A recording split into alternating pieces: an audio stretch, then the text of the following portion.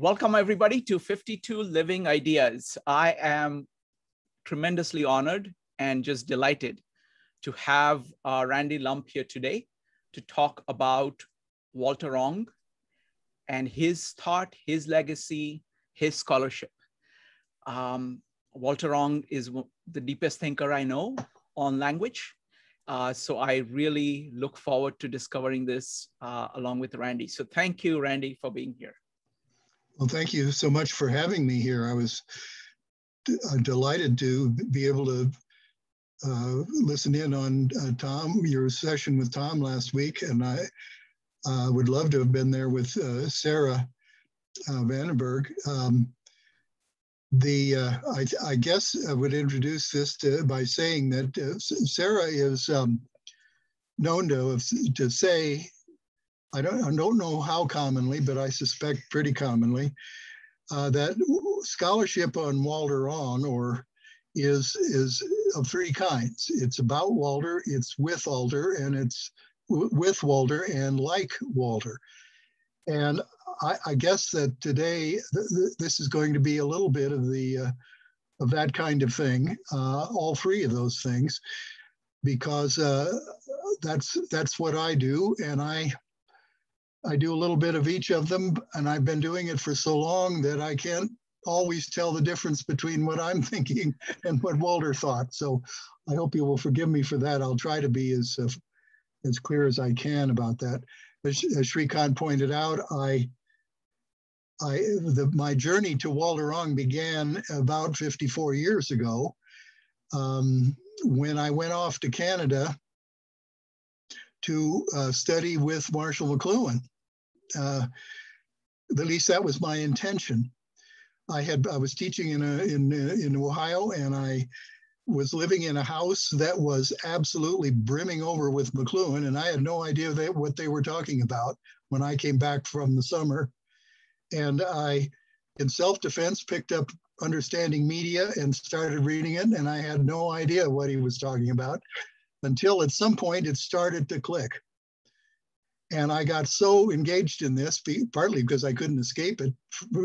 I was living with four other people who were talking McLuhan constantly. And so I began to realize I was teaching theology. I realized that uh, this is somebody that needs to be reckoned with. Anyway, I went up there and got started with with uh, with Marshall. I uh, met with him and at some point I, I, I, well i discovered a book by Walter Ong in a little bookstore in uh, in uh, in ottawa. And i and the book death jacket said that he was a friend of marshall mcluhan. And well of course my antennae went up.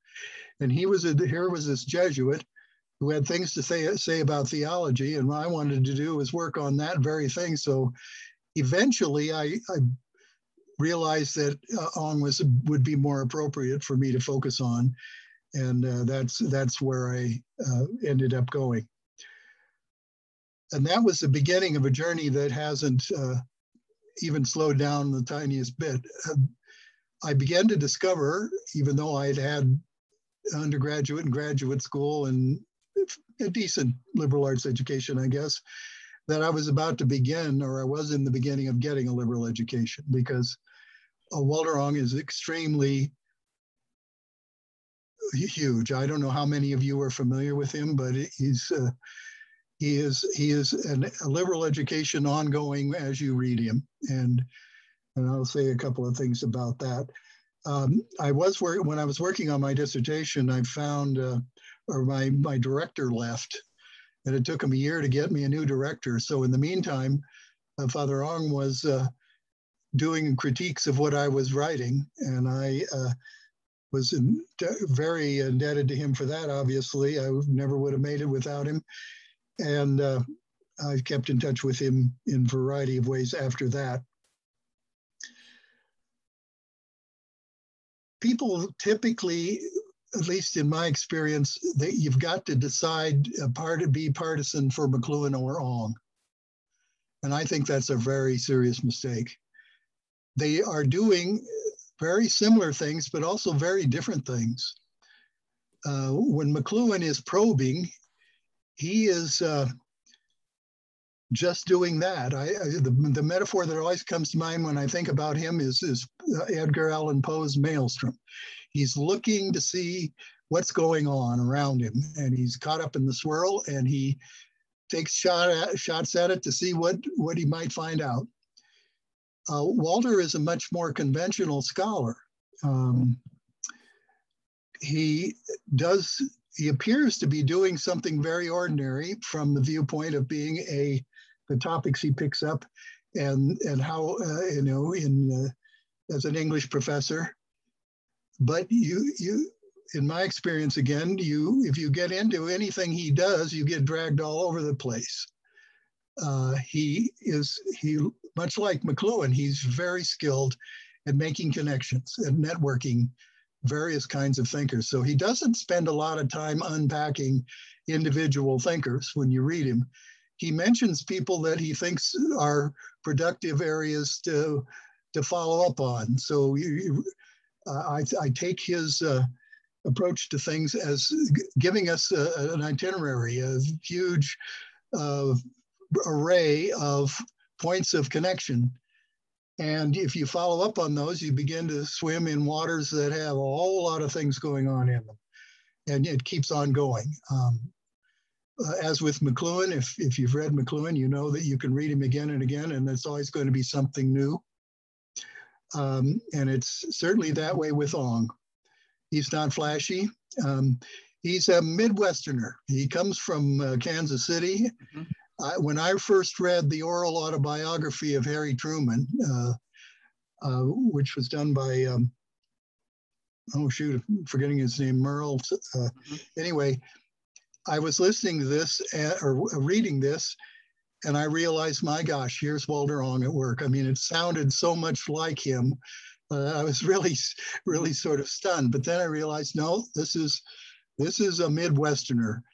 Uh, Ong was born and bred in uh, Missouri, and he he he he sounds like he's he's that, not with with a, an accent so much as uh, how his thinking works. McLuhan's a Midwesterner too in Canada, but I think his approach to things is much more urban. Mm-hmm. Uh, and he thrived in that environment, and that's where his the people who are interested in him uh, mm-hmm. largely uh, are from. Uh, the result is is that you get a um, a very different read on a lot of the same things by bouncing back. So when I really want to be stimulated and shaken up, I read McLuhan, and when I when I want to go a little slower, but really get down and in the mix of things in a very circumstantial and very articulate way that's pointing me in directions, uh, but connecting between them. Uh, then, then I read Walter Ong. Wow. And so that, that's a great way of putting it. And I think the Midwestern character versus urban character, uh, I think I think captures kind of the difference of style and emphasis yeah. Um, but I think the thing that is common to both of them, which is actually quite unusual in today's academia or people in general, is this idea of liberal education that they are basically going and trying to look at everything connected with human beings and are their, their mind is freely going and making connections relentlessly between those things. So the scope of their minds, uh, of Walter Ong's minds, is enormous. And I think that is uh, partly the way he was brought up, the way he was cha- trained uh, as a Jesuit and as a scholar, and he uh, he got very good at it. Uh, he, he's not light reading, but I think he's he's uh, intelligible. I think if once you catch on to it. Can you elaborate on that? I mean, because that's because what happens is that the method um, the kind of the background which enabled him to think that way, that kind of built his ability to think that way is crucial to understanding him. So how is his Jesuit background? Um, what, what is the relationship between his Jesuit background and what he does? Yeah, let me say a couple things about that uh, first. Um, I think he his his approach to things is very much a product of his of what he got into in, in, in, in being in a Jesuit educational setting himself as a student uh, in college. And then it was one that exposed you to what he later characterized as the whole history of Western thought, mm-hmm. uh, philosophically, in literature, in, in, in a lot of different ways, and, and focused on your capacity to articulate not only in writing but to uh, be able to talk about things like that. So it's it's a result. It's very conversational style, and it's very dialogical. Uh, he, you've got to you. This isn't the sort of thing you do all by yourself. You know, it's it's not Cartesian. It's it, you have got to be in constant conversation with uh, other people and it leads to a kind of I, I, think for him it's it's you know, a constitutional matter of, of curiosity. Uh, you learn how to pay attention to things and you ask questions and you look at this and that. Um, and he was interested in everything. Now, where did that come from? Well, if you sit around the dinner table every night with a group of PhDs in all kinds of different fields, and all you have to do is talk about what's what each other is up to, I think it's a way of stimulating the things you think about. If you want to take advantage of it, of course, not everybody does. But if in one of the advantages of living in a Jesuit community with a bunch of people who are committed to the same kind of work is that you um, you have to if you, if you get if you're curious you have to ask them questions about what's going on in there and relating it to the things that you do. And he certainly did that. Uh, last week Tom mentioned, uh, or last time Tom mentioned, uh, Tom Sadek, the game that the Jesuit scholastics used to play, where they had, it was one of my colleagues was a was a practitioner of that, and they would get together ahead of time before dinner, and uh, like talking to the younger Jesuits too, and he'd say, um, and they they had this game they called it Stump Walter, and they tried to come up with a topic that he couldn't talk about and about the only time they ever did this was it was either some topic that one of them came up with in quantum physics or something like that. It was something really obscure, and it wasn't anything he'd ever heard about, so he couldn't get into it. Well, the last time they played the game, uh, as they were assembling there, and they were in the rec room and they were sitting around talking, and uh, one of the guys got up and said, "Well, before we get started here." Uh, Father, I'm going to get, get an Eskimo pie. And, uh, and, and Ong's response was, oh, yes, well, I know the man who uh, invented the Eskimo pie. And he began to talk, and they said, oh, to heck with it. We're not going to try to do this anymore. But he, uh, he was like that. I remember walking across the campus one day with him at St. Louis U, and we went past a petunia bed, and, and keeping up with him was always a challenge for me, especially my young age and I we walked past this bed of petunias, and I said, uh, "Oh, those petunias smell nice. Uh, I'm I'm trying to quit smoking, and uh, and then you know, your sense of smell comes back. So I'm just making conversation, you know." And he says, "Oh yes, you you know of course that the uh, tobacco plant is related to the uh, petunia plant." And the first time I saw tobacco plants, well, sure enough, it looks like they look like great big uh, petunia plants. So what are you going to wow. do? Well, it was interesting. Uh, when Sarah was here, she said, Father Ong would talk to anybody on anything for as long as they were willing to talk. That's right. That is absolutely right. And it was good. And it was, and it wasn't just monologue. I mean, you, you, you, he did, and I think reading his works is this way too uh, it, it invites you to bring in to the conversation what you uh, what you know and he'll, he'll be giving you clues and signposts and things that you might go and explore uh, and i think that's very important i would describe describe his uh, thinking as heuristic it's it's a way of asking questions that leads to more questions and that's why i think he's interested in, interpre- in interpretation because everything we do is interpretation. Uh, it is interesting. Um, the I mean, when I hear about Father Ong's approach to conversation, it reminds me of people like Aquinas, you know, during the Middle Ages, where there are these books that you revere that are really important. and a whole bunch of you are studying those books because and you want to get to the heart of it mm-hmm. and you do that by conversation so the conversation is not for sake of conversation it is very much tied to taking the book and taking your understanding of it to a new level. Because the other person that you're talking to has a different context is bringing a different context.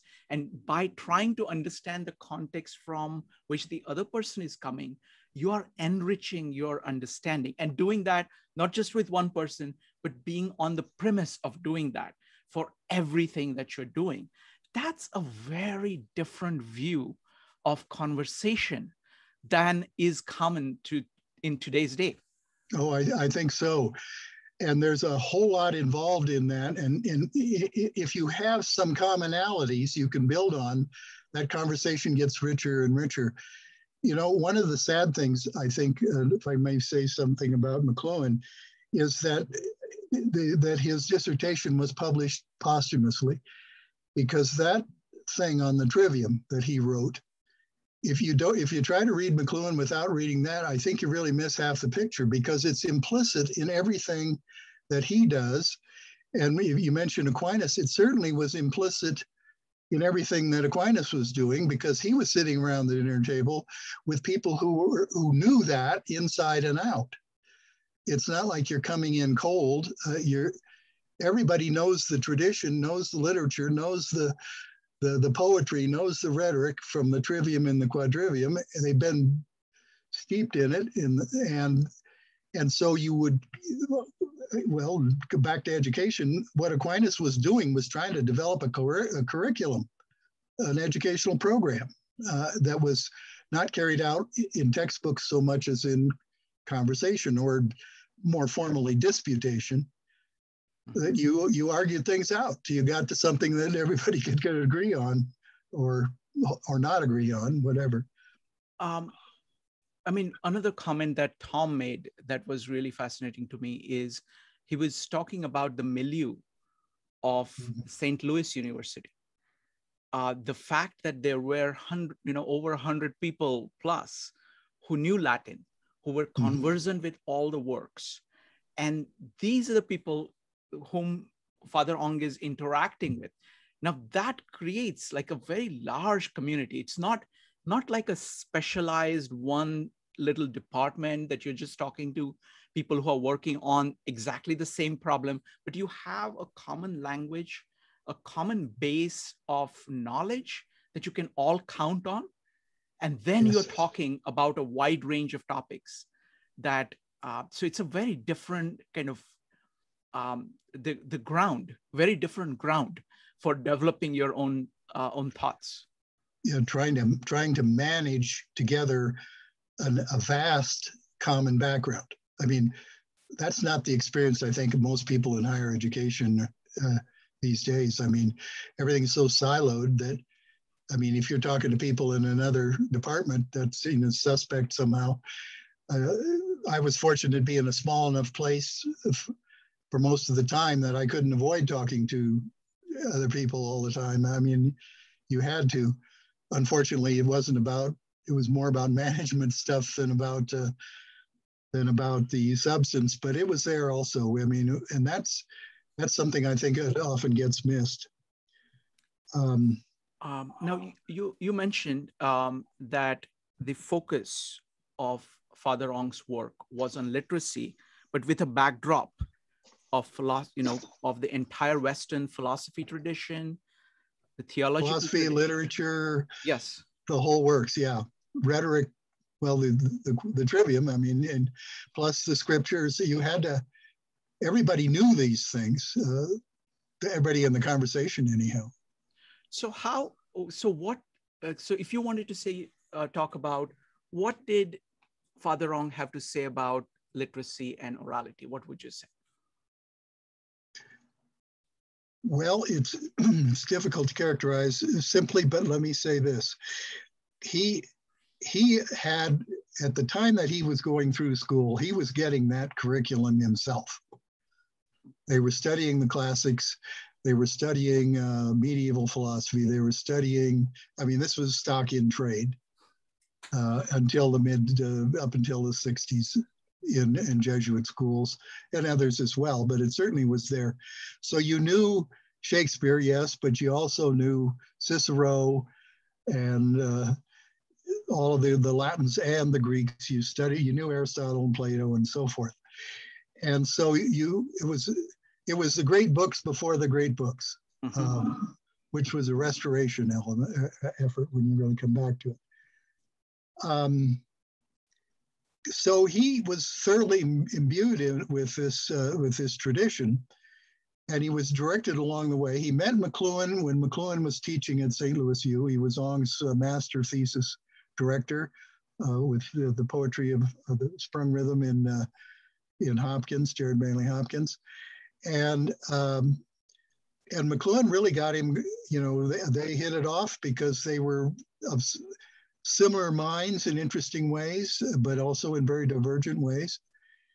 And Ong pursued this. He, when he went off then to doctoral studies, he started, uh, continued to, to get in, to, uh, to explore where this came from. And, and that's where he came across the idea, or was suggested that, I guess, by Perry Miller, who wrote The New England Mind um, at Harvard. Uh, it was suggested to him that he track down a guy by the name of Peter Ramus, who was a, a 16th century uh, French mathematician at the University of Paris, who ended up designing the educational program for all of Europe, basically. Hmm. And he was one of the, it was right at the crux when things were when dialectic had separated from the trivium and taken on a life of its own, mathematics, you have this is Descartes, this is the whole enlightenment starting to take place. And um, and so he got into their tracking. How did how did this come about?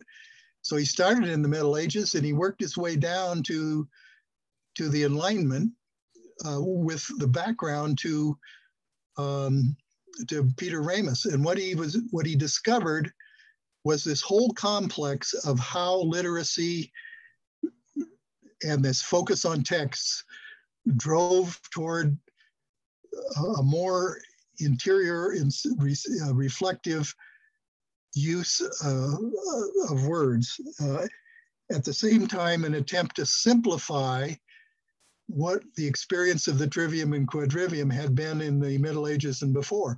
So he was trying to track this process, and he discovered that there was what he called a kind of interior iconoclasm.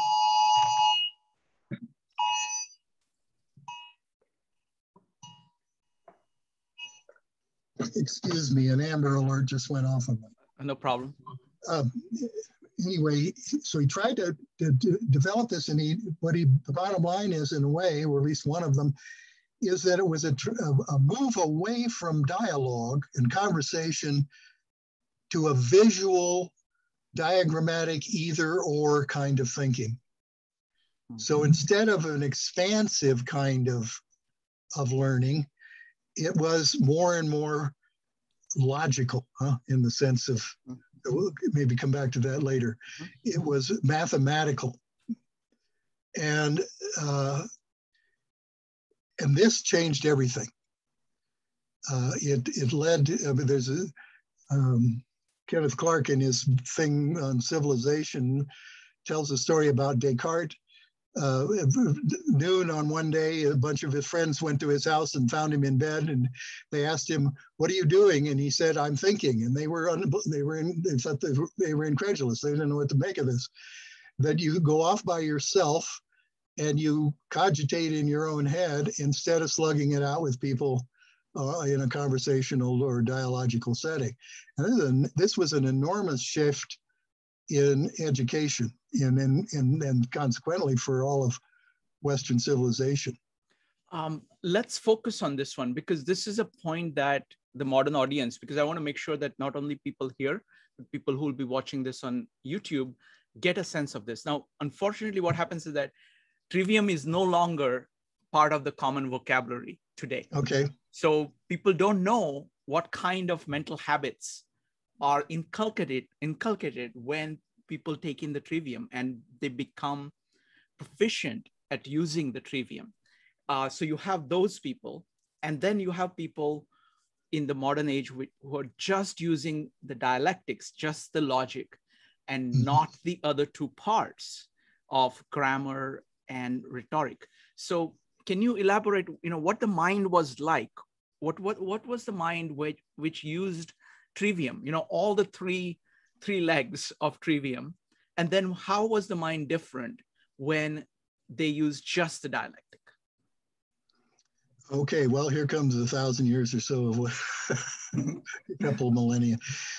Um, what happened? What first of all, you you have to go back to monasticism. The monastic tradition was really the engine that brought about Western European civilization. In uh, in, in uh, the classical idea of education was that you went someplace and you you talked about, as, as we see in, in Plato's dialogues, you talked with people about about things, and um, and and worked it out in in a kind of uh, dialogical fashion. And and if you if you know Plato's dialogues at all, they're they're they're a put up job because Socrates was the main character and he was bugging everybody with thoughts that they didn't understand, and they so they, mm-hmm. they argued about these things. Uh, and Plato put it down because he didn't want to have the same thing happen to him that happened to uh, Socrates. Yes. He put it all in uh, Socrates' mouth. Um, so this this dialogical approach to knowledge it's highly uh, it's both literate, but it's it's uh, it's oral as well, but it's it's uh, it's kind of an intermediate stage. When you get to Aristotle, you start getting closer to a much more text-based kind of education, mm-hmm. and it, yes, based on lectures, probably, probably to a great extent, uh, less uh, kind of a seminar kind of approach to things, um, but still trying to pull together what was known from other uh, thinkers that had come before. And the whole project was really geared away uh, to getting away from the, the pre-literate Greek program, which was based on stories, uh, these big epics like Homer and so on, which were the, the encyclopedias of ancient Greece for, mo- for the ordinary folks, because everybody who spoke the language could listen to the bards uh, uh, recite this poetry. And that's a whole big story in itself. Mm-hmm. By the time you get to the Romans who continued this process and used largely Greek texts to do it with and Greek instructors, once uh, the empire starts to fall apart, the, the uh, educational program goes to the monasteries. The monks were the only ones, for the most part, that were literate. And they were sent out all over Europe to civilize all the barbarian tribes that, for those of us who come out of Europe, uh, most of our ancestors, mm-hmm. uh, who were tribal people who were living uh, in the, in not in cities at all. You don't really get cities in Western Europe until the 11th uh, and 12th centuries, uh, when cities, which grew up, European cities all grew up around monasteries. And uh, um, they so what did, what did the monks do? Well, they they kept texts. They were they were literate people, and they they copied texts. That was the main thing they did, and they were self-sustaining. They grew their food and they they worked on texts. Um, and the the development of this textual tradition was to try to gather libraries, to create libraries of uh, places of learning. There's a wonderful book by a Frenchman called uh, The Love of Learning and the Desire for God, which really sums up the, the literate mass uh, environments. Well, what was in this? Well, it was called, in terms of the disciplines, the, the trivium, that is to say, grammar, rhetoric, and dialectic. Uh, grammar was more than we we mean by it. We mean, you know, kind of the rules for language, but it was much more involved than that. First of all, it involved learning Latin because you couldn't do any of these things in any of the vernacular languages. So they didn't exist. Uh, so you did it in Latin, which was the only really literate language they had to work with to some degree uh, Greek and to some degree Hebrew, but especially Latin. And so you had to teach people how to read and write in order to deal with texts. And then what texts? Well, everything you could get your hands on from the ancient world and so you learned that from the the Roman uh, the Greek philosophers, Plato especially, but also fragments of the others. You learn from Homer, you learn from Cicero, you learn from all the Latin uh, uh, writers that you could find, the poets. And this kind of over time was collected and collected and collected and shared between monasteries and so forth. Uh, you also had rhetoric because you had to learn how not just to say these things or to, uh, pardon me, read these things. Matter of fact, you didn't even read them silently. As McLuhan points out, the medieval cell of the of the monk was a, a reading room, so because you, you, read out loud and made copies uh, mm-hmm. as you did it. Uh, so the um, that that environment of collecting, focusing on the production of texts, um, and then uh, rhetoric. You had to learn how to assemble this yourself for presentation to others. Uh, the universities started this way uh, as uh, well. Then, pardon me. The third item, dialectic, is is also complex, but it's it's mainly what we would call logic. And that is to say, you had to. It was a complex way of trying to organize all this material so you could teach it to the people behind you. When cities developed, and they developed around monasteries because out of trade fairs that that were the monks were also into agriculture, so they trade fairs began with the villages around, and then they you know once or twice a year, and then they became monthly, and then pretty soon they became permanent settlements, and there's Paris. Mm-hmm. And somebody had to figure out how to relate the monastery, monastery, which was a very different way of life, to the cities. And that's where the Dominicans and the Franciscans come in. Mm-hmm. Uh, they went, their job was, uh, the Franciscans was uh, to go downtown and talk to the folks on the street. But you had to be trained for that. So uh, the Dominicans were similar. Uh, they, you had to try to take the learning of the trivium out to the world and uh, to the folks in the cities. And so universities developed in the 1300s. And then we go from there. And in, in, the uh, uh, in the Renaissance, we get into the humanist colleges, which are aimed at the burgeoning middle class. Uh, and th this is quite an involved process. But anyway, what, what Ong did was study how, what happened to the trivium between the Middle Ages, the 12th, 13th century, and the Renaissance, uh, and, and, then into the Enlightenment. And his study, uh, you know, um, Tom mentioned last week. Hello, Tom. I think I see you there. Yes, Tom is um, uh, Tom mentioned last week that um, I shouldn't do this. I, I, I lose my track. Uh, he, dis he discovered mm -hmm. that the move from the, the dialogical, conversational, disputational world of the Middle Ages to by the time you move down to the Renaissance and the Enlightenment, you find a real restriction that was driven, first of all, by trying to simplify the curriculum for teaching um, people coming into schools because schools were done in Latin, not in the vernacular. So you had to teach people to read and write Latin before they could even participate in schools. And schooling was principally for teachers to train teachers. That's why you get a master's. You get A master of arts was somebody who uh, got uh, who learned to read and write in Latin and did some version of the curriculum, the uh, trivium and the quadrivium. They were tied up with communication and education. And then if you got to be a master of arts, it's really the, the word university, as Ong points out, universitas in Latin means union, what we would call a union or a guild. And it was the teachers union. So a baccalaureate is where you were licensed to teach beginners.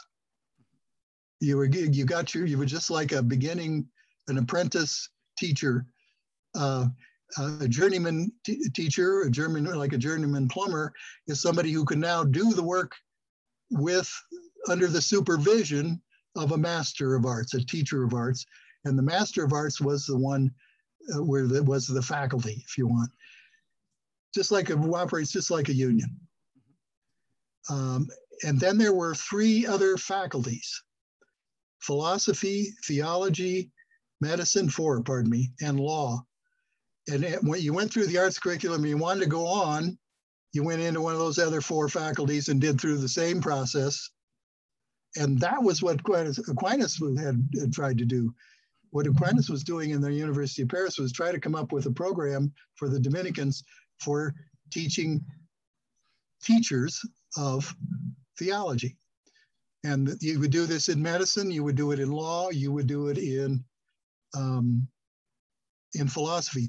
It's very important to realize in this context, I think, for when we get down to the Enlightenment, that what philosophy meant in the in the medieval university was all of the things we now call the natural and social sciences. So you got of necessity, if you if you studied philosophy at all, you got all of the things we call science today. Mm-hmm. Although theology was a science too, that is to say, an organized approach to uh, talk about the religious dimension um, of things. Well, I don't know. Am I on track with what you were asking yes. for? Yeah, absolutely, absolutely. But let me ask a focus. I think this is a crucial background. But let me ask a very focused question. What happens when the dialectic gets separated from the influences of grammar, which actually ties you to what is, and rhetoric, which ties you to the communication with other people as a corrective influence? What happens to people going just with dialectics? Well, you, you can kind of, you, I suppose the extreme example is you can do what Descartes did. You stay in your bed and you think about your own existence mm-hmm. uh, and then try to work your way back to the real world. Um, you know, I think, therefore I am. Mm-hmm. Uh, it, it, it, Ramus was was uh, was right in the middle of this, and Ong had shows a lot of examples of of Ramus's way of teaching the educational program. And that is you come up with a topic. And of course, the topics go, the, the whole idea of picking a topic and going that way goes clear on back to the Middle Ages with Peter Lombard's sentences and so on, where you can begin to see the simplification process even there mm-hmm. because you, you, there was so much stuff you couldn't teach it to anybody. So you had to find ways to, to organize it. And so you take a topic and you go back through all the literature and you pull out sentences that have to do with this, that, or the other thing. Mm-hmm. And you end up with these masses of stuff. Mm-hmm. Well, even that had to be simplified. How do you take junior high school, you know, or early teenage kids and teach them how to read Cicero? Well, for heaven's sake, this gets to be a real big project. So you had to nail it down. Well, Ramus was focused, like mathematicians often are, on devising logical processes to keep things in order. And he devised all these flowcharts with brackets, you know, mm-hmm. either or, it's this or that. And then if you do that, then you take the remaining answer and then you divide that into two more. And you end up with these huge kind of outlines and diagrams. And so all you had to do was really kind of take whatever topic you had and plug it into these, mm-hmm. these schema and you could take any subject and digest it that way. And I, yeah, I think that when it, when we look at that, we can see in a way how that kind of education has developed and the kind of curriculum building mm-hmm. that we now have. It's very different because it's linear, and you you go through and you you pick between two things, and then you divide it again, and you divide it again, and you get So it looks like it's like it's differentiation without the integrating forces. So it's right because you start from scratch here and, and no, nobody has the common background Mhm. So you are at any point of time, you are kind of at one point point in this branch, and you have kind of kept away from all the other branches. yeah So you could go back that- and, and run through the other direction or something but you Wow. yeah it, it was and of course this was this was a tremendous upheaval but on, on then now this this is where we jump into a whole different realm Mhm. because Ong had pointed out i mean it, it, we, we he was attentive to the fact that you couldn't do what they did in the middle ages without writing you had to have all these texts Yes. so writing made this possible. And of course, that drags you back into Aristotle and Plato Mhm. and pre-Socratics and so on. Mhm.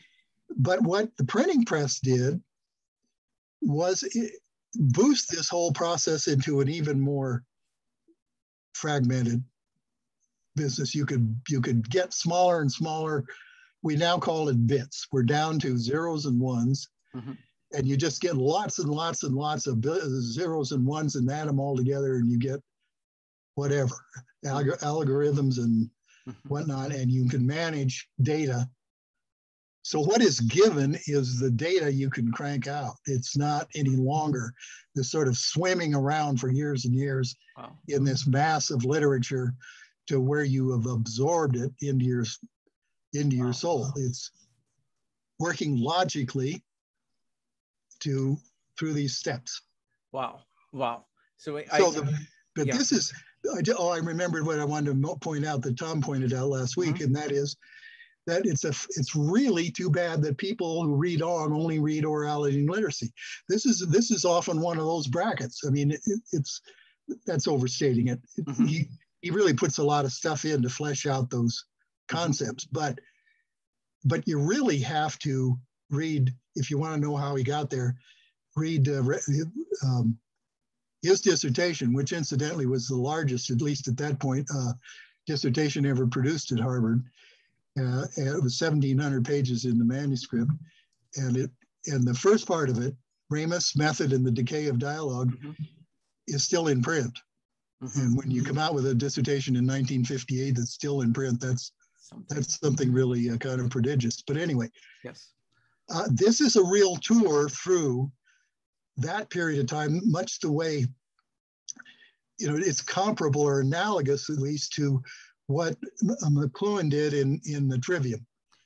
And, and uh, but, but Ma- Mark, uh, Ong's thesis was published out front in his work, whereas we didn't get the Trivium published until, gosh, around 2000, I think is Right. when that. You, you made a very intriguing statement about about this. So, and I want to ask you about that.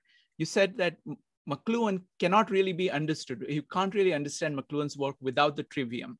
So, can you talk about what is the role of McLuhan's work on the trivium in his corpus and in his thinking? Well, he he's pretty cryptic. I mean, he he, he did kind of traditional scholarship too, mostly on things like Joy, James Joyce, Mhm. and mostly in smaller venues. Mhm. His, his- the work that he's known for in public tends to be very aphoristic, very flamboyant. Uh, um, well, you know, if you've ever seen his work, it, he, he doesn't talk about the trivium. He doesn't Mhm. do. He probes around and he gives you a basket full of probes and say, "Well, go and sort this out. Go where you want with it." And uh, he doesn't fill in the gaps for you. It's cool, not hot, you know, as he would Mhm. say. So, but the, the, his work on the trivium is the ground against which all the figures in his more popular work is uh, is rooted. Oh. And and so it's all there, and boy, you know, it starts to make sense. You go through that trivium book, and you suddenly say, "Okay, I see what he's up to." Mhm. I mean, and it makes much more sense. It's much easier to get what he's about there, but it wasn't available. Mhm. Now, if you did know the trivium, you could you could do something that you couldn't do otherwise. Uh, but it was really an eye opener when I, for me, when I read it, I said, okay, because I always thought you, when you read McLuhan, you got to read him like poetry, mm-hmm. and then then it'll work. People who try to expect, you know, read his stuff and try to expect a nice linear, and he tells you he's not going to do that. Mm-hmm. Yep. ABC calls it absent-mindedness. Mm-hmm. You, you, you're not going to get there in linear force. And why, why was he doing that? If you're caught in this maelstrom, you don't have time to do that. You need to pay attention and get it, mm-hmm. you know, get get going on it right now. Try to figure out what's mm-hmm. going on. And of course, he's brilliant at that. But a lot of people who are stuck with the other model don't can't even get there. Wonderful. So let me change gears and ask about two, at least two aspects of uh, Father Ong's work. One is his pairing of mythos and logos, which separates him dramatically from Plato, who complains about the poets, or from uh, Descartes. Uh, so, talk a little bit about how he sees the relationship between mythos and logos. Okay. The Greeks have two words that um, one of them is muthine, from which our word myth comes. I'll say some more about that in a second. The other one is logine, which comes, which, uh, and and uh, from which our word logic comes.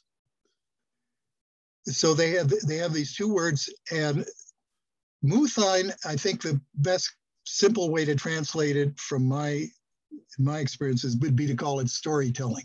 It's mm-hmm. much more than that, mm-hmm. you know, but it is the storytelling uh, that that Plato wants to run out of town. Okay. And what to make make it make it short, uh, what we want to have is logic. Now, logic is more like mathematics. And this, if you go back to Plato's Republic and you read in the same area there. I'm trying to remember if it comes right before or right after the uh, the uh, analogy of the cave. Mm-hmm. You you have what's called Plato's line, and in there he gives us a schematic. Uh, you know, a chart of the different. He breaks it out into different parts. Uh, a chart of the knowledge of the way knowledge works.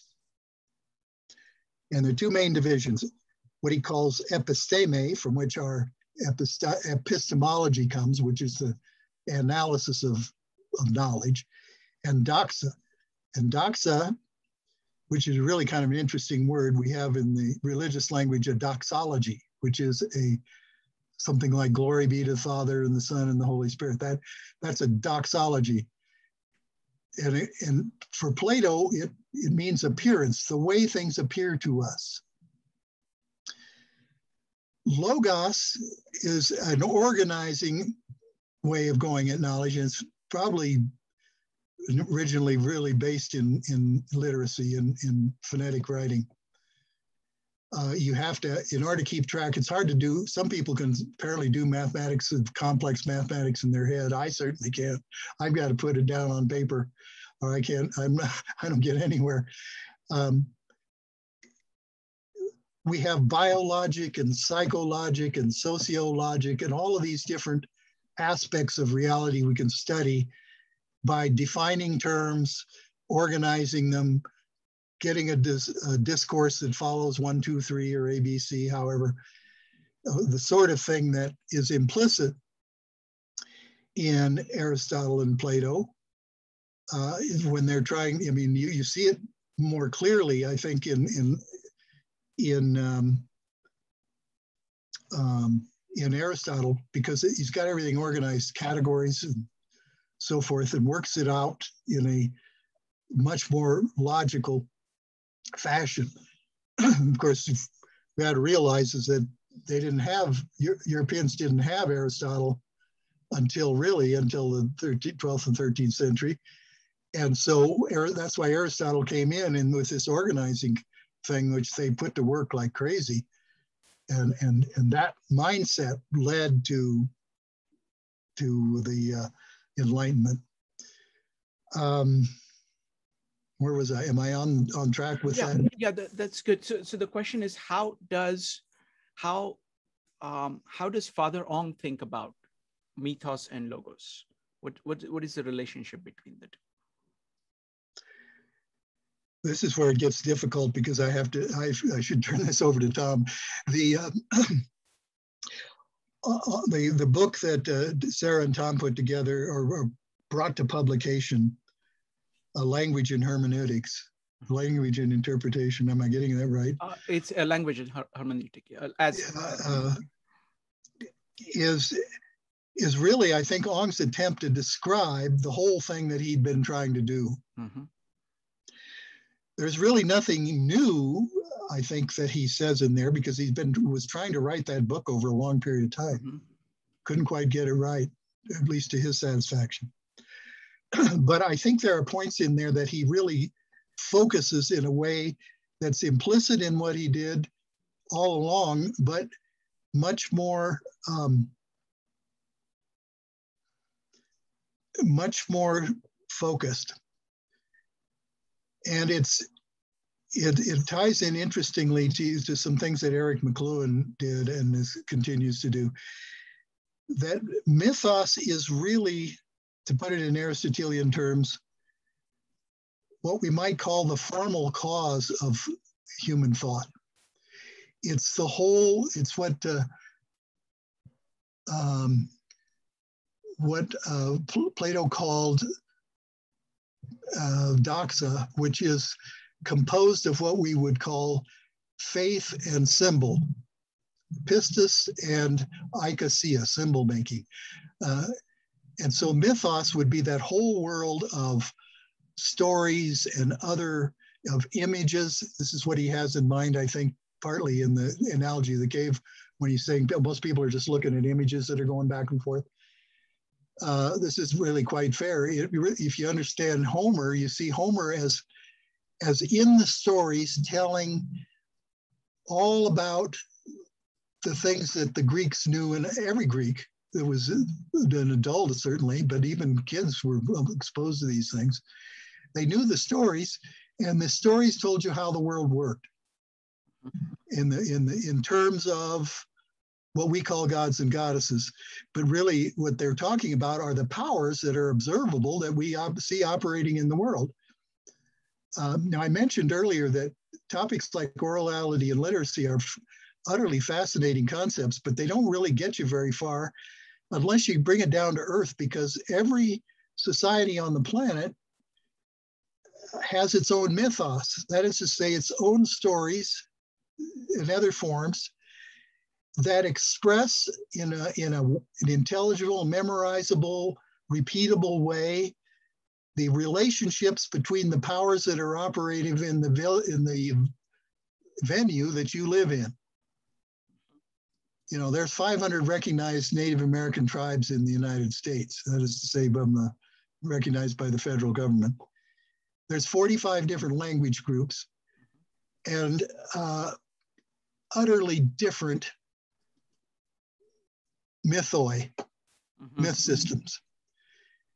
But they're not just made up stuff. They are things, they're traditional materials been passed on, the stories and of course, if we look at any civilization, we're going to, any, any culture, we're going to see this going on.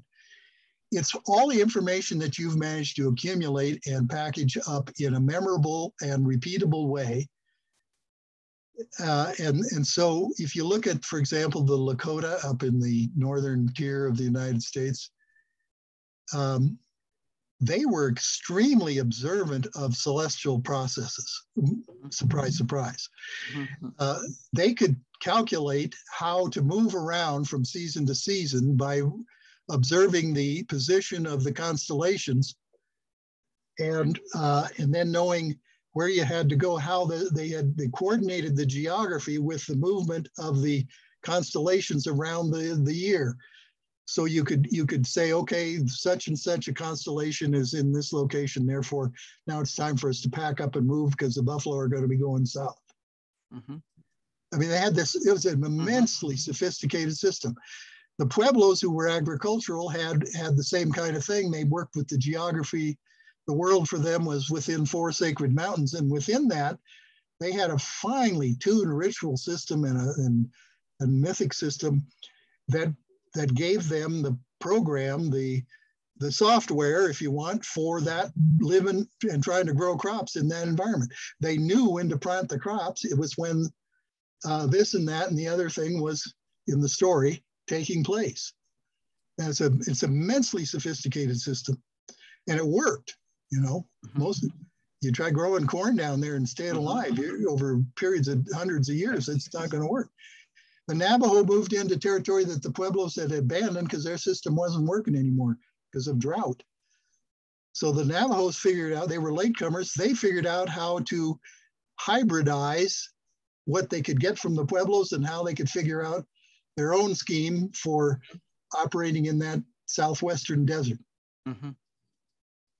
Very sophisticated. So mythos is not logic, mm-hmm. but it is if you if you if you get into the system and and being able to assimilate that if you could do that and make it work for you you could survive in that environment.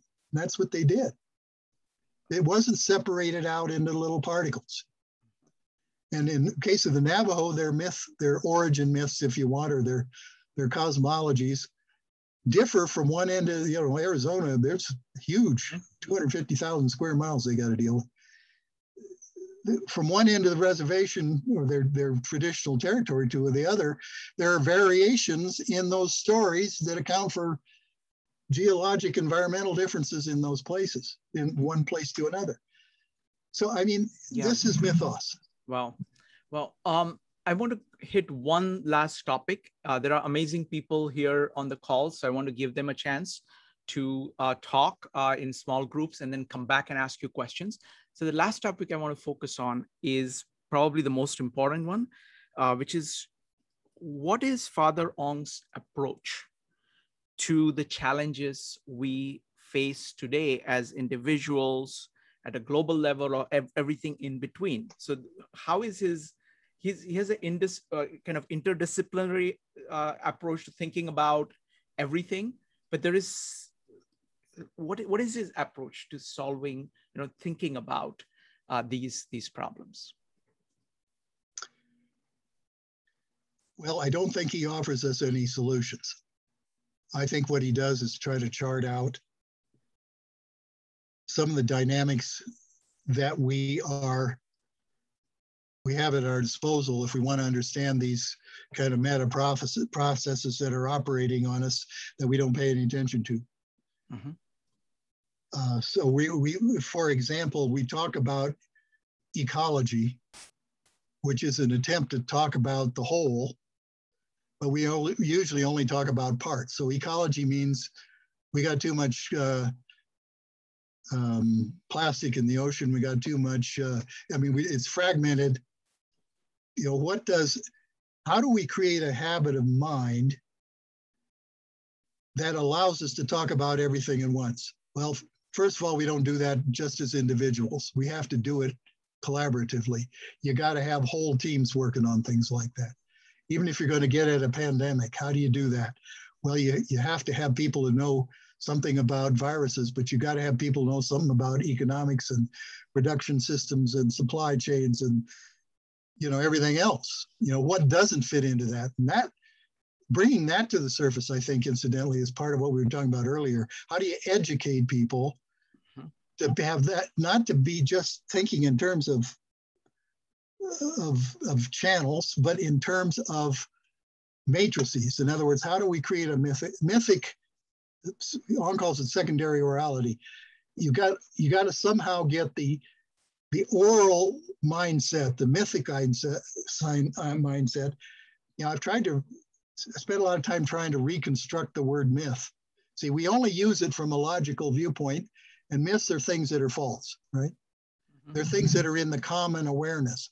Well, how do you upgrade the common awareness, the common sense, which is the word for it, the Greek word is pistis, which we translate in English as faith, but mm-hmm. that misses a whole lot.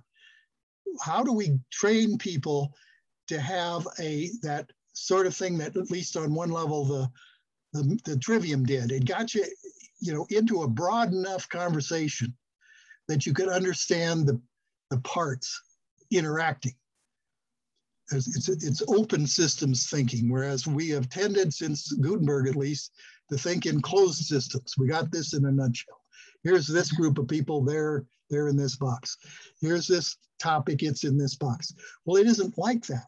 No, reality isn't like that. Uh, so how do we teach people how to do that? Well, I think Ong and McLuhan in their very different ways, but certainly Ong gives us some examples because he, he's saying you got to dialogue with a lot of people in a lot of different forms. You can't just uh, put it in a box. This was what he, his objection to the new criticism in literature. You don't want to just do give biographies of authors. What you want to do is get to the poems, but you can't treat the poems as though they exist in a bell jar in a vacuum. You have to treat them in terms of their connectedness. And that's why I styled his way of thinking as metaphorical. Mm-hmm. The metaphor is the capacity, which is distinctively human. I don't, as far as I know, robots don't do this. Is the capacity to take one kind of experience and translate it into another kind of experience. Metaphorein. It means the image behind that, it is itself a metaphor that means you have at least two people, if not a whole group of people, carrying something from one place to another place together. Mm-hmm. Uh, now, I would say that's a metaphor for ecological thinking.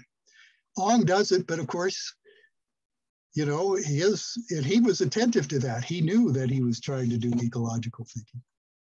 Whoops, I just lost the picture here. How did I do that? Uh, can you, uh, I can hear you very clearly and we can see you very clearly. Okay, you can see me. I just yes. can't see you. I will. Well, I'll help you fix it as soon as we go go to the breakout room. That's great. So I don't know if that helps.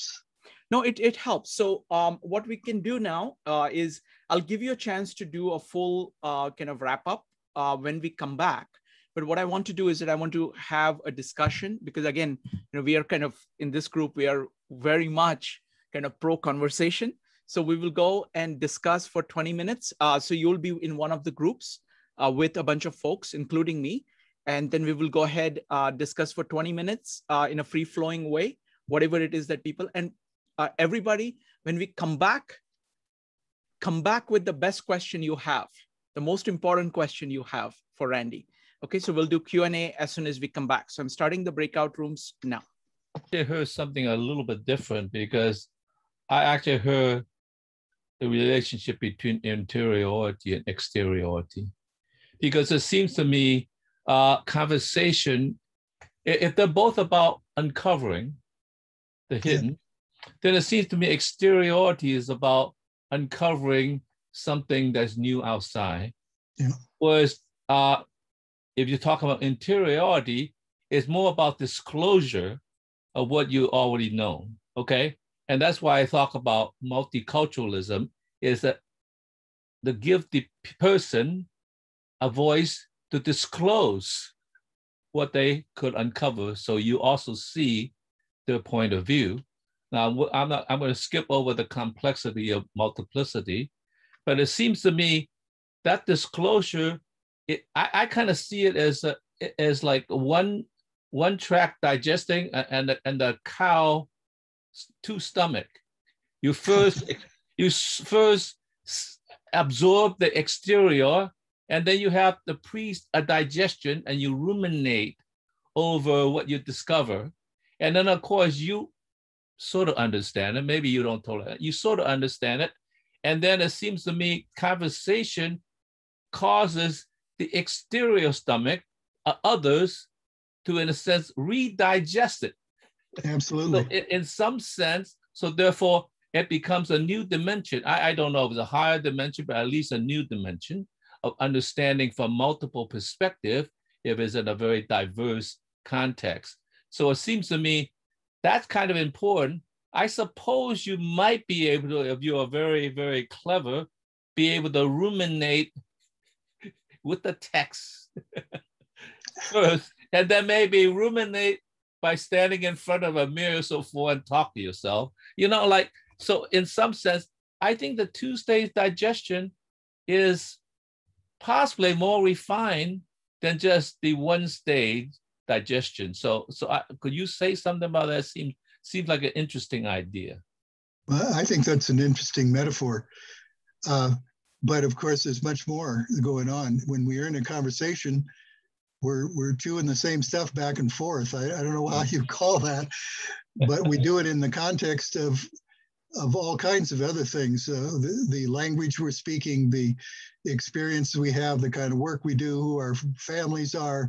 It's all of that's implicit in there, and we bring that to that conversation so that we're somebody says something, we get it impresses on us, and we then come back with a response. It's a two dialogue is a two-way thing. It's not just talking; it's talking and listening. And uh, the more people in conversation, the the richer it gets. Well, many many animals, the mother actually pre-digest the food. Right. It yeah, the baby, right? So yeah. as she regurgitate the thing for the redigestion, then there's something else also going on. The nurturing and all that stuff comes in on the side as well. Thank you. When the, when the mother is singing uh, lullabies to, to the child, that's going on. I mean, it's everywhere.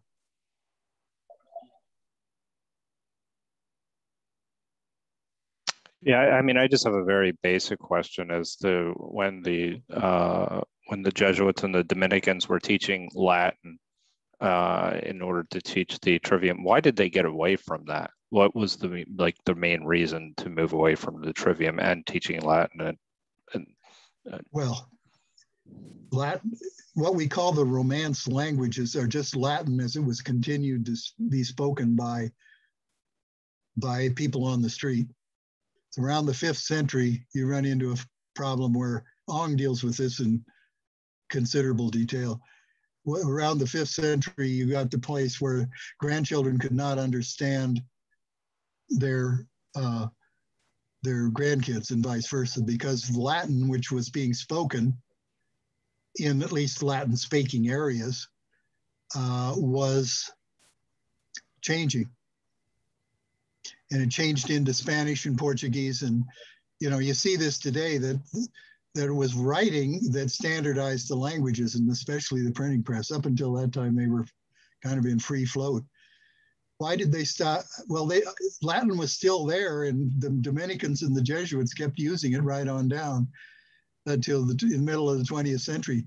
But the thing is that the uh, the in the meantime, with the printing press, the, the vernaculars, that is to say, Spanish, French, Italian, etc., were in print and they were frozen in the print. And, and the nation states are vernacular bubbles. And then we got the Germans and the and the Scandinavians and everybody else into the process.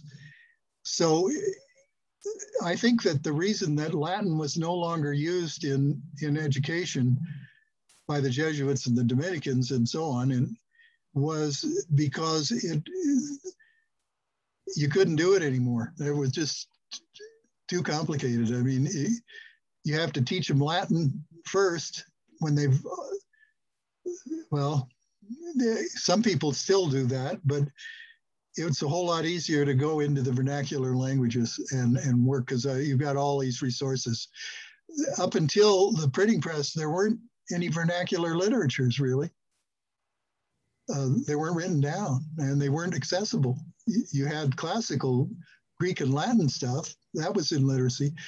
And by the time you get to the Middle Ages, the only people that could read and write Latin, or the only people who spoke Latin or used Latin on a daily basis, were people who could read and write it.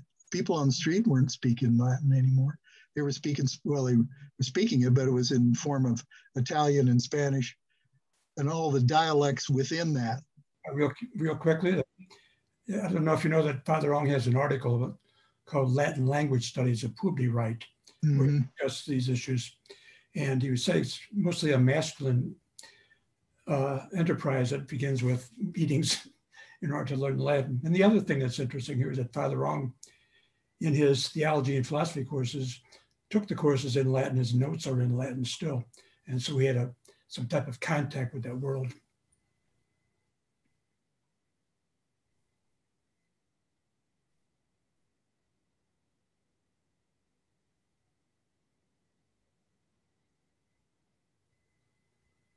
Um, you know, there's two Sharons, so which one do you want? Okay, so my question was just, uh, because you had mentioned that Marshall McLuhan had uh, used as a foundation in a lot of his writings the Trivium. Can you give an example of something in McLuhan's writing that where you can see directly back to the Trivium? Boy, that's a fascinating question. I don't know if I can. Uh, oh, I that's okay. now he, he does make a bleak reference to it, but I think where where I would look if I could think about it a little bit, and we don't have time for that. His when he talks about the role of the artist, I think you see it there.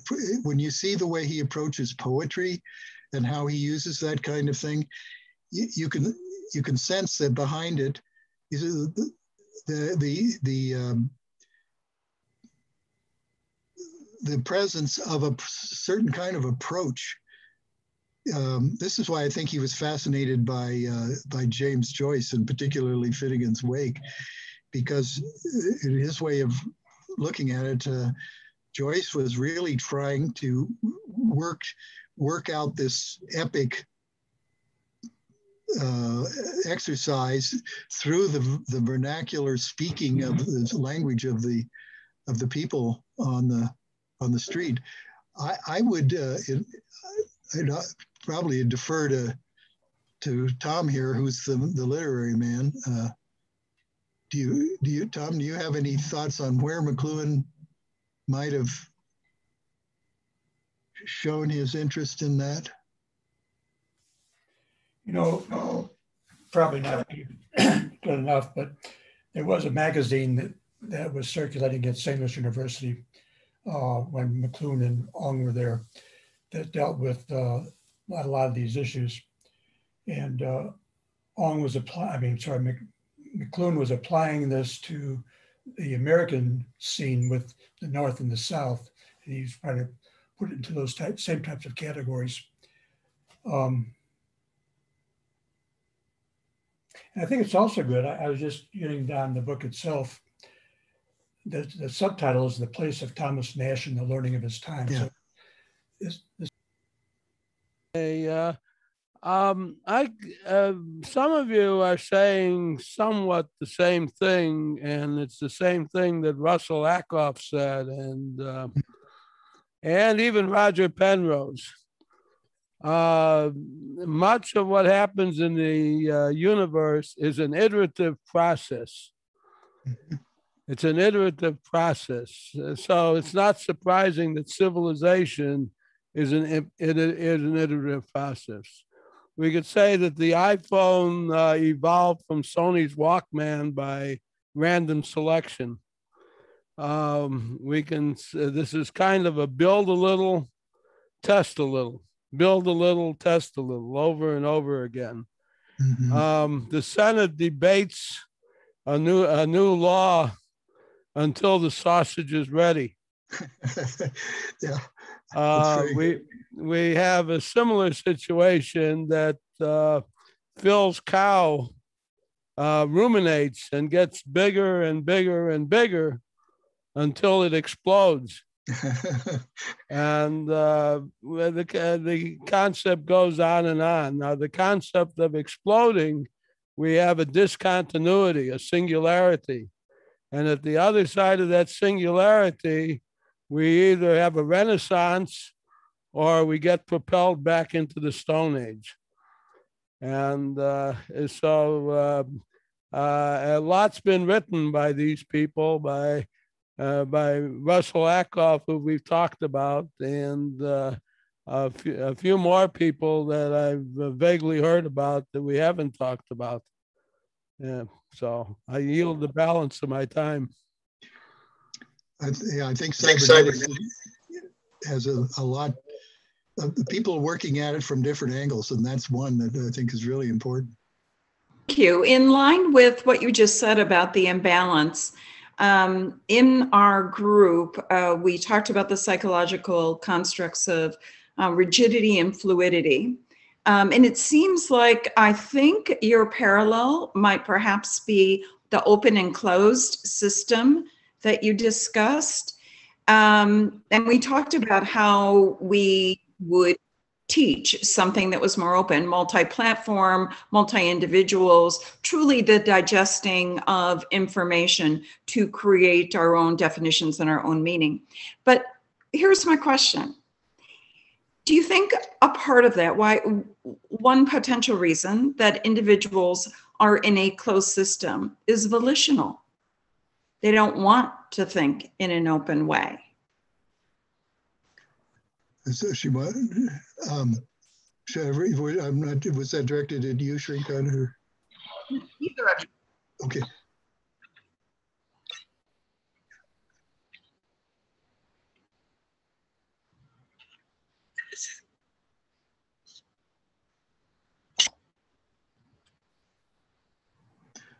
Um, yeah, I'm, I'm sure people do do that, but it's it's it's an illusion because you can't.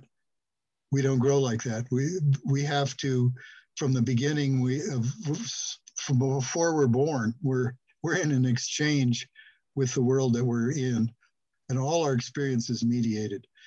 Uh, if you get it, I'm, I'm like to point out that you, unless you unless uh, you are in conversation with people, you really can't can grow. So you can't live like that. We have to everything from breathing air to talking. Uh, we can't activate our inner thoughts without a language to do it in, um, etc. So uh, we can we can say we don't want to dialogue with with somebody or some other people or whatever, and just stay as we are maybe we're threatened by the other or whatever, but it's very difficult, if not impossible, to pull that off. I think, uh, if I understand your question right, at least. Is that?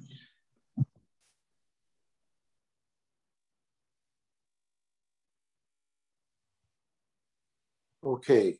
Um, I keep on hearing the word cycle, and uh, I, uh, I think a lot of people miss the key point there. It's not just that it cycles, it is that we get feedback from an action. And if that feedback tells us we're not going in the right direction, we can try to make corrections in some idea of a right direction. So, in other words, it's a learning cycle. We almost should put the adjective in front of it to distinguish it between cycles that do not learn, for example. Yeah, it's only a cycle on when you narrow down to view it like very small because it's going on like this. I mean, we're constantly taking in all kinds of stuff and we learn what to advert to, what to pay attention to. Uh, culture teaches us, well, these things are most important and then these things are important. And so whatever we, we think is important in a given context, that's where we're going to get into pushing and shoving. And sometimes I think, uh, back to Candace's point, people can get so overwhelmed by this that they don't. I think we see this in the political process. They get so overwhelmed by this stuff that they don't even know where to go. And so uh, McLuhan has a page on this in Medium is a Massage. The world is so big, you know, stay as you are. Uh, and I think there's a lot of attempts for, for people to do, try to do that. I don't think you can get away with it. So you got to have a lot of other people wanting to do that too. The way you're, you know, get your little group. That's what's happening in polarization, I think.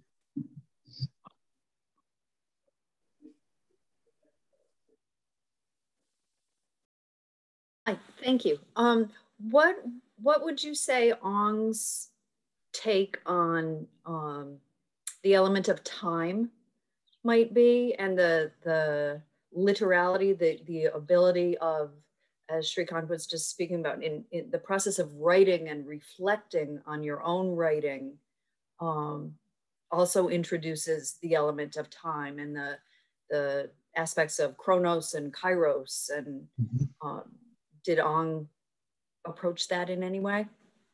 Well, yeah, I think time in a, in a variety of different ways is very, very central to his thinking. Uh, Matter of fact, he, he edited a collection of things called, um, uh, Tom, you may have to correct me, um, Knowledge in Time. And it was very, and I think that's what the, uh, orality, manuscript, uh, print, electronic sequence is about. That, things grow over time. The universe is a pro- time begins with the, you know, the Big Bang, and here we are. Immense amount of time involved, and things are going on in time, and they're not. They don't go backwards. Development has taken place, and and we're we experience that all the time in our own lives. I mean, you don't get stop being five years old and go on to being six. You're just five years old in a new way. I mean, it, it, we accumulate that, and that's we ruminate on it. What we remember about our earlier uh, experiences is very important. If we if you we know what happens if you lose your capacity to negotiate time and memory. Absolutely critical. Uh, you get Alzheimer's or something of that sort. So. Uh, yeah, we, we live in a in an era of multi uh, multimedia for sure, and I wonder if that itself is not an uh, illusion in this sense. Like especially when we could uh, choose the channel to listen to these or hear these multimedias, then it seems to me is not only looking in a mirror and have a reflection of yourself and that's it. So, so therefore, uh, it, it would be like living in a hall of mirrors with multiple mirrors are reflecting back you, you thought that these were multiple perspectives, but in fact, they were all just a reflection of yourself. And I just wonder whether that is a replacement for multiculturalism, in which actually different people appears in the mirror on the doorway, rather than just yourself reflecting back on yourself with the illusion of, uh, uh, you know, of of this panth- pantheon of things that you are distracted from the essential thing, so it becomes an illusion, multiple illusions just pick a cable news channel. Yeah. I, I should give you my first grader grandson. He could tell you all about this. Uh, he's much better at it than I am uh, in terms of functioning almost instinctively. I don't know where these kids get this stuff, but they know how to do this in ways that I don't. I, this is why I think generational aspects of this are extremely important in our present circumstance. Uh, anyway, um, we're in the very early stages of this secondary orality thing. I mean, it's a new phenomenon. There have been maybe comparable or analogous situations in the past, but the enormity and the speed at which this one's taken place, as McLuhan shows over and over again, is just beyond anybody's real coping. And we, you know, we just see examples every day the computer scams, the the uh, hijacking of the pipelines. I mean, all we don't. Ha- nobody has a clue. Pandemic stuff. Uh, if you go back to earlier times when disastrous things happened, uh, people just couldn't do very much about it. So you just sort of kind of went in and you picked up and went on.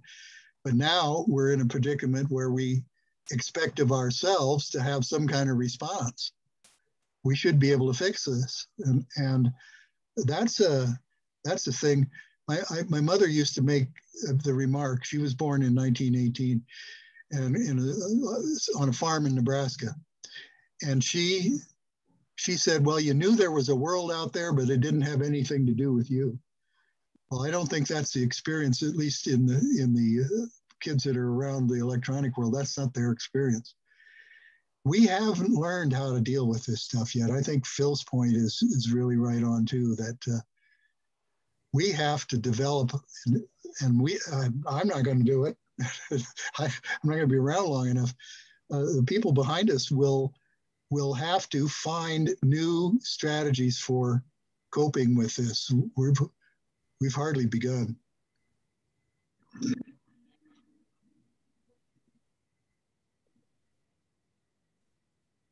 Oh, oh yeah, I, it's astounding. It's astounding.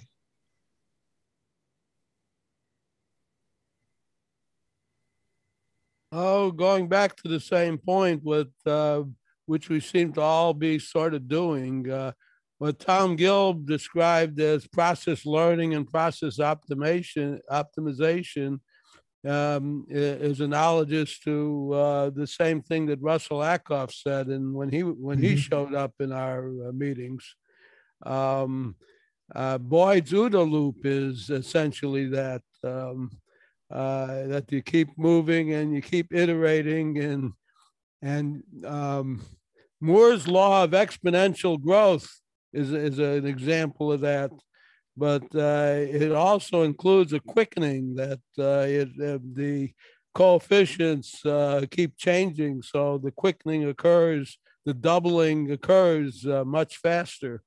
Um, and uh, we shouldn't forget Ray Kurzweil's concept of a singularity, where that cow eventually eats enough that it explodes and dies.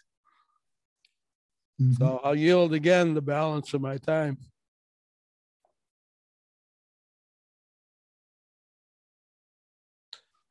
Yeah, but how do you deal with uh, algorithms that nowadays presume to know more about you than yourself? Yeah, I mean, I mean, like that. Then, in a sense, it's it's kind of like a distorted mirror. You're looking at yourself in a distorted mirror because, uh, like you know, if Socrates says "know thyself," how do you know yourself when somebody else that trying to sell you something knows more about you than you, you, you yourself. They they could manipulate you easily. Yeah.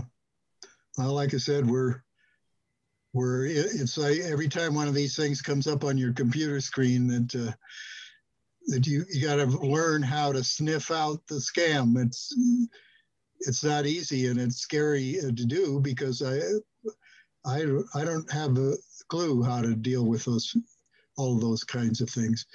They're too fast. If if you, uh, I, I, I can deal with texts a whole lot better because it takes a lot of time. I would, um, I'd say for if it, it you know, it, I would read his his real monograph work, uh, The Presence of the Word. Uh, the uh, Ramus method and the decay of dialogue is is a tough slug. It's a big, huge, complex thing. But you, you know, by the time you come out the other side, it's like reading the McLuhan's thing on the Trivium. You you're going to have a pretty good feel for the way these things work. I think, at least in Ong's approach to it. So the presence of the word, but you know, uh, inter- but he wrote these other books that went with it, the interfaces of the word I mean, he's all about. He wrote a book. He likes he likes connections. He wrote a book called Frontiers in American Catholicism. He wrote a book called Crossroads. I mean, he's he's looking for interfaces, crossroads, connections between a, a lot of different things, usually with historical things. So, presence of the word, Ramus and uh, Ramus method and the decay of dialogue. Um, but also um, uh, he's got one romance, rhetoric, romance, and technology. His book, um, very different kind of thing, but still dealing with the same kinds of themes, and is uh, his book Hopkins, The Self and God. Uh, he has one uh, called um, Fighting for Life: Contest, Sexuality, and Consciousness dealing with the same issues, but more along gender lines. I mean, I it'd be real interesting to get some feedback on that one. Isn't one talked much about? I think it's probably too too sensitive a, a thing, uh, and I haven't been at it for a long time. But read his major monographs. I would start there.